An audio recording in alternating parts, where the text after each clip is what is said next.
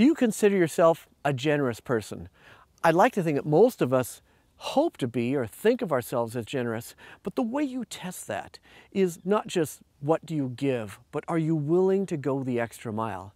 You see, with your employees, your vendors, and your clients, the heart of generosity is, is like hospitality. It's the willingness to say, I know you, I hear you, and I understand you in a way that I want to serve you, not just in a manner that meets your needs, but exceeds your needs, exceeds your wants and delights you. So, are you a generous person? Well, ask yourself, are you willing to go the extra mile? Love you.